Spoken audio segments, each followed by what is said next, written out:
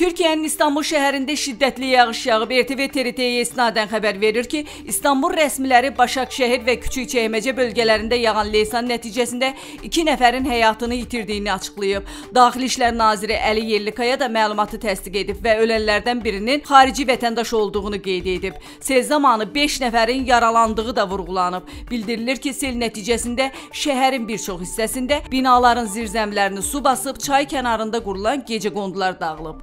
thank you